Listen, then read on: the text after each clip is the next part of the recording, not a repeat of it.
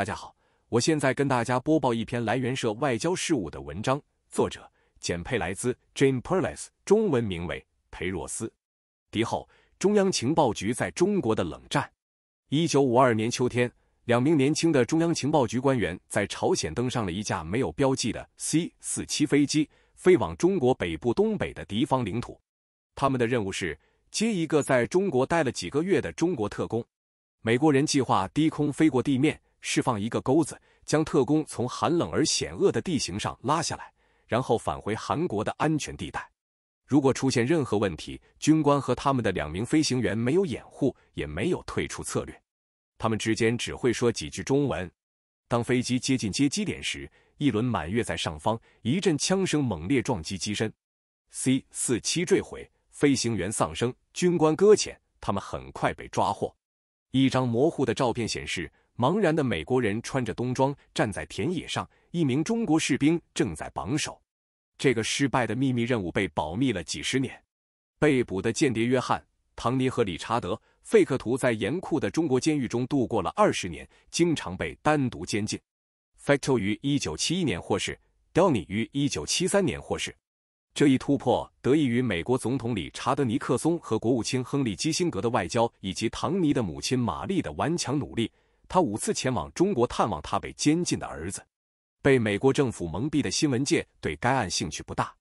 两本新书《约翰·德鲁里 （John Delury） 的颠覆的特工》《约翰·唐尼的命运与中央情报局在中国的秘密战争》和《迷失在冷战中：杰克·唐尼的故事》。美国被关押时间最长的战俘由约翰·唐尼、托马斯·克里斯滕森和杰克·唐尼合着，讲述了这个拙劣的秘密行动以及围绕他的黑暗和奇幻时期的故事。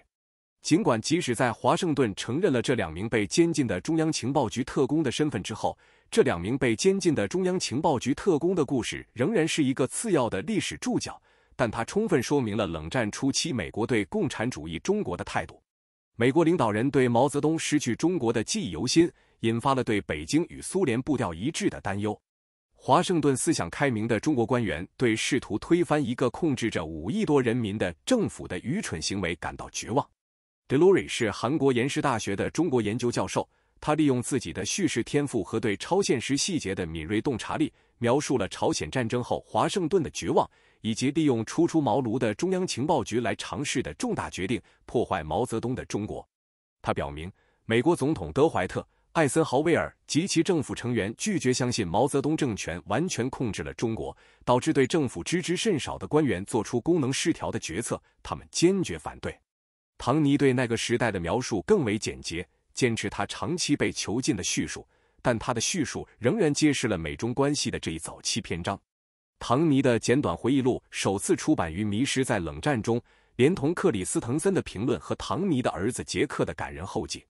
随着华盛顿和北京之间的关系逐月恶化，这两本书中讲述的美国对共产主义中国态度的基本故事，在今天具有新的意义。它显示了当意识形态的顽固性胜过理性决策时，以及当政策制定者被对他们不完全理解的对手的不屈不挠的反对所引导时，会发生什么。在德鲁瑞的故事中，隐含着美国在地球上人口最多的国家建立民主的持久愿望。但这两本书表明，当这种冲动应用于一个大部分力量来自反对美国的政权时，为什么这种冲动是不切实际的，甚至是不明智的？激起异议。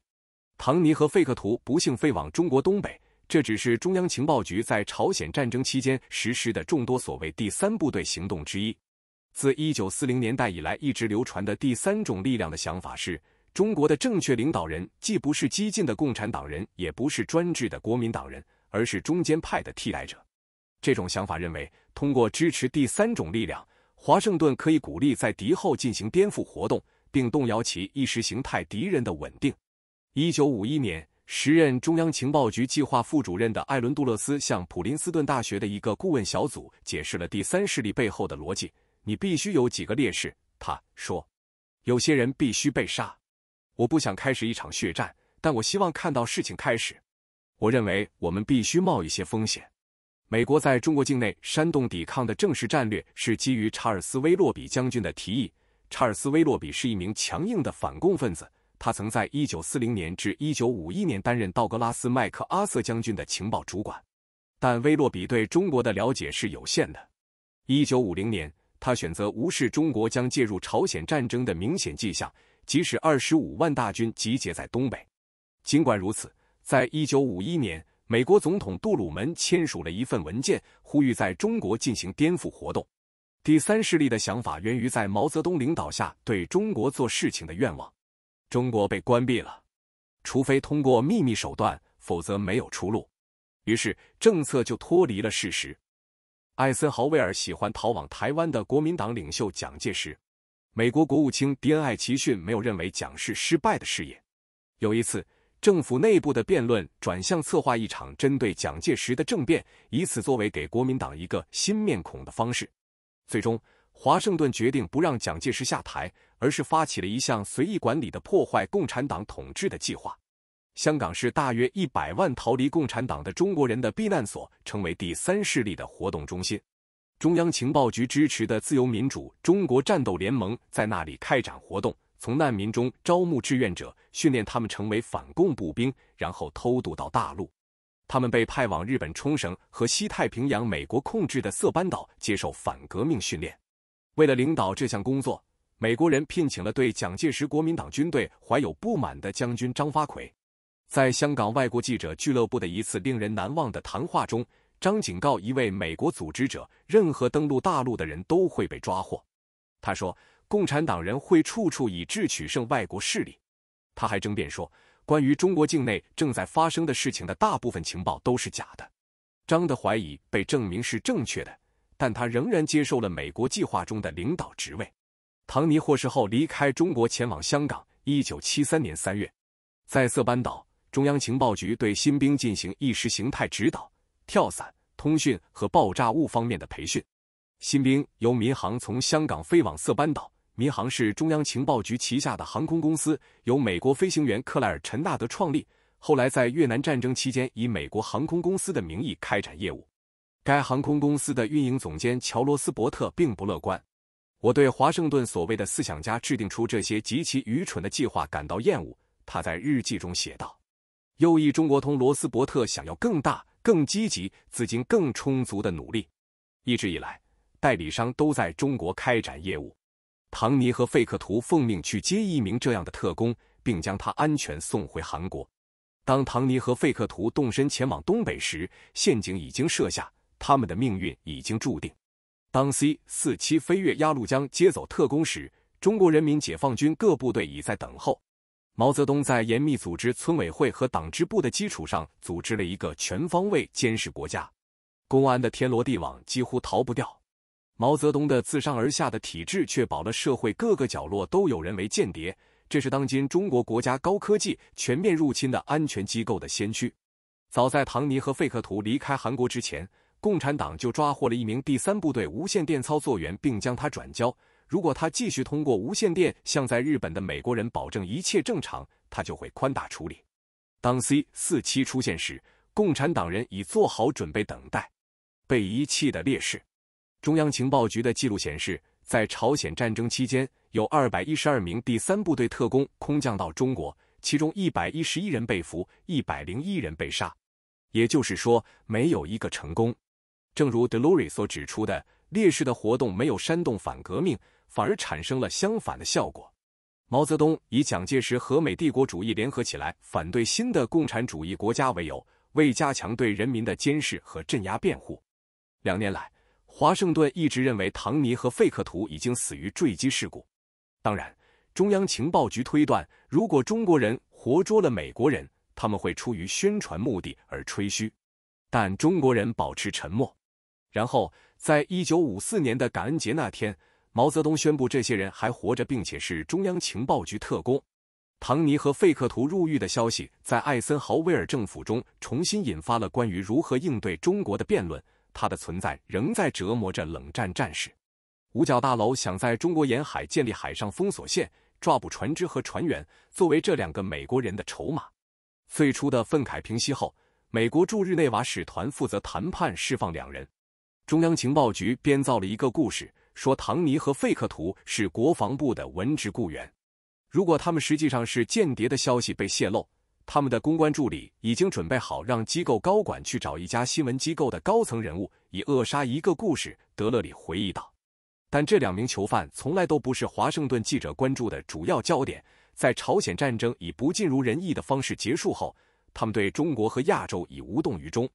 在所有人中，尼克松用扭曲的语言在新闻发布会上说：“唐尼案涉及一名中央情报局特工。”《纽约时报》标题是：“尼克松承认在中国入狱的美国人是中央情报局特工。”但这个故事被埋在了报纸里。唐尼和费克图在毛泽东的监狱里腐烂时，表现出了几乎令人难以置信的忍耐力。唐尼的儿子杰克讲述了他的父亲如何遭受两年的无情审讯，长期戴着脚铐，以及被单独监禁在一个五乘八英尺的牢房里。当法官宣布判处无期徒刑时，他的翻译得意地笑着用英语说：“你本可以被判处死刑。”唐尼的母亲将他儿子的困境一直摆在华盛顿面前，每次去中国旅行后都会公开他的监禁情况。唐尼的家人给他送来食物、书籍。报纸和第一期《体育画报》，唐尼自学了一些俄语。由于他的共产党卫队非常乐意让他接触俄罗斯文学，他阅读了俄文版《战争与和平》的部分内容。唐尼和费克图在毛泽东的监狱里腐烂时，表现出了几乎令人难以置信的忍耐力。一九五六年，中国提出了一项可能导致囚犯获释的提议。北京的提议是邀请美国记者来中国报道中国的情况，作为交换。美国囚犯将被释放。中国政府还要求华盛顿承认唐尼和费克图确实是中情局特工。美国国务卿约翰·杜勒斯·艾伦的兄弟拒绝考虑这个计划。他说：“美国不会与共产党人做交易。”杜勒斯的固执意味着唐尼成为历史上服刑时间最长的美国战俘。到1958年，色班岛的合资企业关闭，中央情报局将目光投向了西藏的另一个第三势力项目。这几乎是在中国北方注定失败的冒险的重演。缺乏经验的美国教员将西藏自由战士派往中国西部，尽管这些教员不了解西藏，也从未到过那里。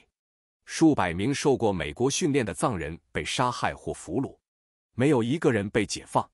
一九七一年，在尼克松抵达北京之前，基辛格与中国总理周恩来会面时承认。费克图和唐尼做了任何国家都会认为是非法的事情，这是对他们真正雇主的暗示，足以让周恩来承认。Facto 于当年十二月获释。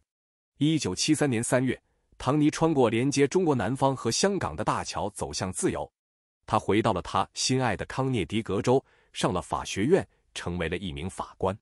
唐尼在他的回忆录中直言不讳地说：“我被派去为一个我不认识的国家而战，去训练我不会说语言的游击队。”我在一次我不应该乘坐的航班上被击落，并因将一根杆子从飞机上伸出来而被判处无期徒刑。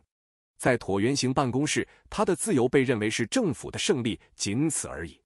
基辛格对尼克松说：“我们从唐尼这件事上得到了很好的发挥。” d e l u r y 以火热和震惊的方式重述了美中关系史上这一非凡的插曲。你几乎可以听到他在问：“这怎么会被批准？”为什么以这种粗略的方式试图推翻执政的共产党政权如此紧迫？他对上海和香港档案中的共产党资料进行了挖掘，得出了满洲条件的详细细节，比如社会纪律严明的组织成微小的细胞，这是理解毛泽东执政头几年的关键。唐尼和费克图的勇敢是故事中的故事，相互误会。一九六九年。当唐尼和费克图仍在狱中，华盛顿仍拒绝承认北京政府时，耶鲁大学历史学家乔纳森·斯宾塞出版了《改变中国》一书。在这本书中，他详述了数百年来西方领导的善意的改变中国的项目，从耶稣会士利玛窦在16世纪后期传播基督教的尝试，到世界大战结束时美国将军方阵的部署。Delury 是 Spence 在耶鲁大学的学生。他追随这位杰出导师的脚步，进行了引人入胜且重要的案例研究，得出了类似的结论。迷失在冷战中讲述了一个美国人在愚蠢的决策中首当其冲的遭遇。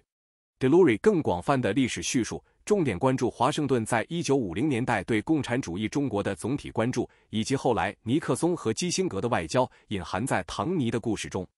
他和费克图所遭受的苦难是不了解或盲目不愿承认共产党已完全占领中国的直接结果。这一失败直指高层。在他担任总统期间，艾森豪威尔一直低估毛泽东，高估蒋介石。在他的结论中，Delory 是正确的。他认为美国人在大约七十年前制定的错误政策提供了一个警告，提醒人们在美中关系恶化的时刻不要做什么。